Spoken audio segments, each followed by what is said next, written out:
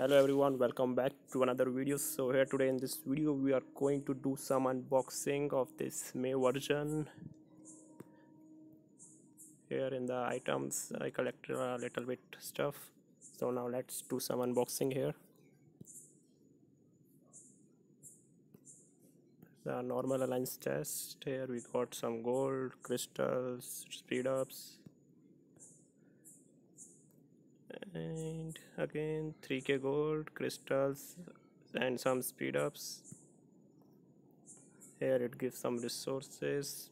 And here we have noble chest level 5 let's do it.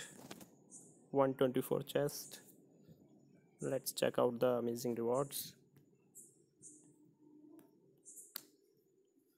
So here it gives food wood iron silver 386 badges. So approximately three times noble badges we got and 12 8 hour speed ups.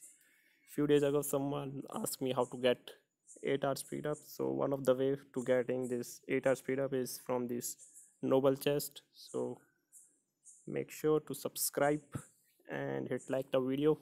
See you all in next video